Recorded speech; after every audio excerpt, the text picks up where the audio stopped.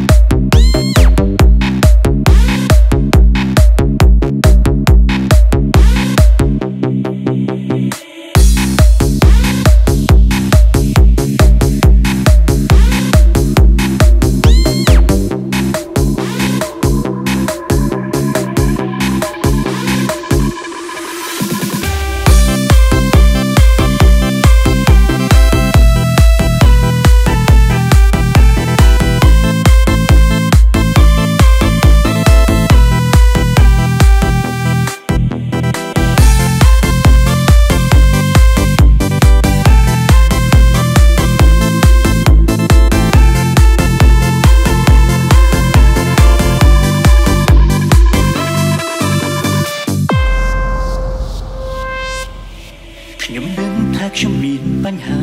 ច្រើនខ្ញុំដឹងថាខ្លួនឯងបាក់ទឹកចិត្តរាល់ថ្ងៃអង្គុយភ្លឹកភ្លឹកព្រោះគិតច្រើនខ្ញុំដឹងថាអ្នកខ្លាំងគេសាយ